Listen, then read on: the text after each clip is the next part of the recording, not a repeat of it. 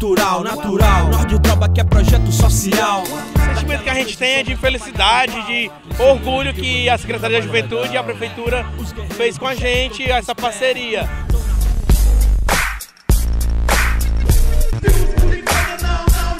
Sabemos que temos um município jovem e que temos 120 mil jovens no nosso município, que precisa de oportunidade, que precisa de ser ouvido, esses jovens que estão muitas vezes ociosos sem, sem ter o que fazer e a Secretaria de Juventude e Lazer, juntamente com a Prefeitura, tivemos essa ideia e tem aberto portas para que a gente venha oportunizar a nossa juventude. Você que é jovem, você que tem essa arte do grafite, você que deseja fazer esse curso, você deve comparecer ali na Secretaria, fica na Avenida 3188, ali bem próximo ao Corpo de Bombeiro.